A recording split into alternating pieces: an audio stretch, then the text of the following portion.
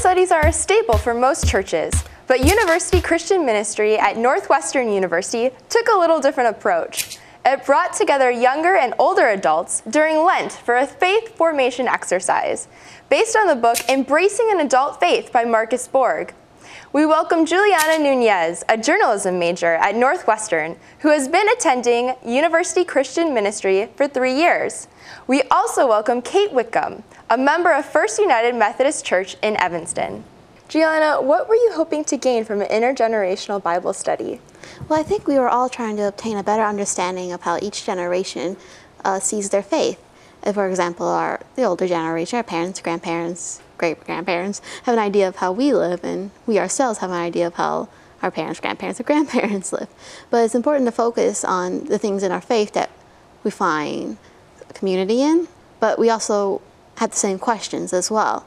And we, and our approaches and our experiences in life has shaped our answers to the questions we have. I was the one that was supporting this idea in our board of directors for University Christian Ministries.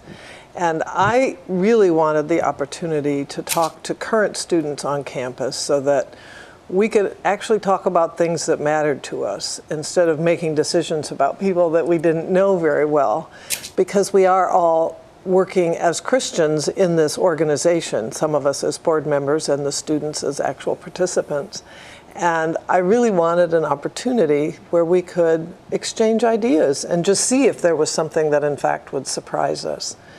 And I think as I think back over our time together, um, it wasn't anything specific, but it was the general strength of students' actual faith and belief. The fact that they could sit and speak very coherently and very eloquently about what they believed.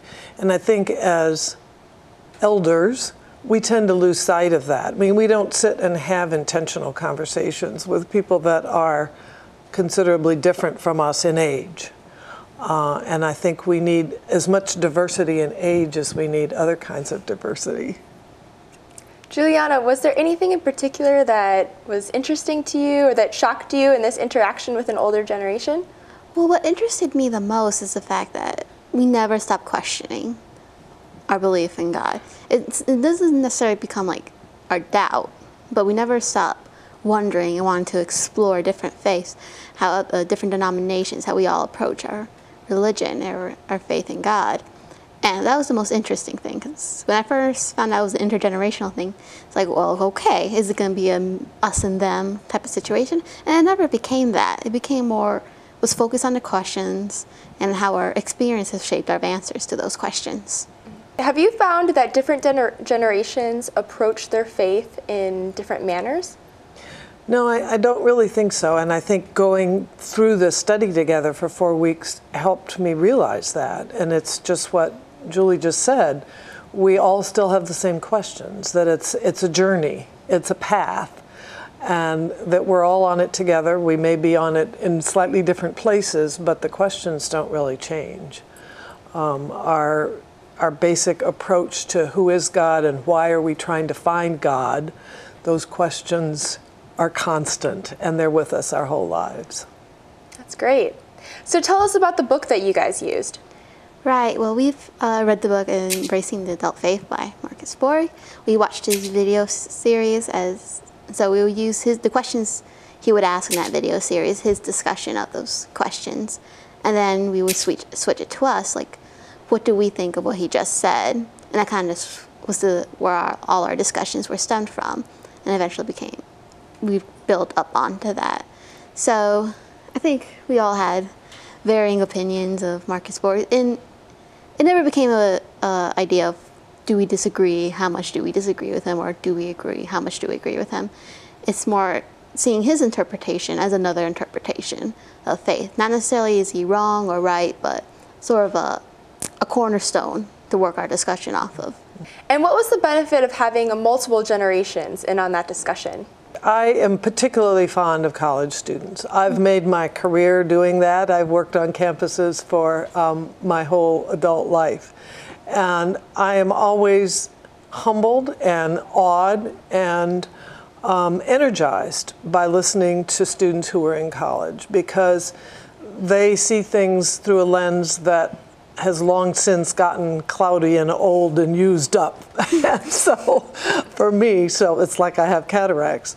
And so it's just always refreshing to have students speak. And this time I think it was especially so because that group has some very eloquent people that have done some very deep thinking about what their faith is. And why they and they could support that faith with their reasoning. And it was just to me it was utterly fascinating. I could just sit and listen to that for hours. Did you see the easter story differently after the study? In a way yes. Simply because i think every generation when we're at this age it's sort of us us us. And we look at the older generation across time. And it's just, well, that was then, this is now. And approaching the Easter story was like, well, no, this is something that's kind of universal. Like my appreciation for it, it can be universal and something, we had the same questions, we had the same thoughts about it. And so it was like the Easter story. I got to spend it with my family this time because normally I spend it on campus, but we happened to be on break. And so my family's multiple generations. So it was just kind of interesting how we approached the Lent story in an intergenerational way, and I got to celebrate Easter in an intergenerational way, and kind of appreciating what people have to say about the Easter story and about their faith in general. Were you able to approach the intergenerational aspect of your family differently after this Bible study? Well, I don't blow off what they say so much anymore. I still do, but not as much. Uh, but seriously, though, uh, it, they, everyone has some, some kind of wisdom, I think. And it's important to hear what people have to say, not, not just in faith, but across the board. And kind of this intergenerational discussion kind of taught me to appreciate what other people have to say. It's too easy to brush off. Well, they're just, they don't know what it's like these days. And that's not necessarily true. They had similar struggles and similar doubts, and both in faith and life, and we can learn from them. It doesn't necessarily mean we're not stone answer to everything, but I do take comfort in the fact that I am not the only one who has ever gone through some of these doubts and some of these mm-hmm. problems. It's something that many people have experienced and they've all learned something different from them. What do you think has maybe inhibited or been a challenge to other intergenerational studies or discussions? Well, I think Julie sort of alluded to that. You know, it's not comfortable. I mean, we're we're very different. We have our things that we're interested in, and students have things that they're interested in. Mm-hmm. And again, faith is not something you don't often even talk to people of your own age group about those questions. I mean, you you have to set up a very purposeful situation where you're sitting and talking about you know, what do you think about God? Who is God? I mean, what, what is that concept? I mean, you don't normally have the experience of having that conversation. So to, to make ourselves sit there and do that was a mental and spiritual experience. It was kind of a personal challenge on my level as well because I was not, I did not grow up in a family where I could just approach my grandparents or someone like that and discuss God and stuff. Partially because there was a language barrier. It's like mm. they only understand about 40% of what I said. So it was not really a discussion based relationship. And I am very much a 20 year old in my habits and my thought process.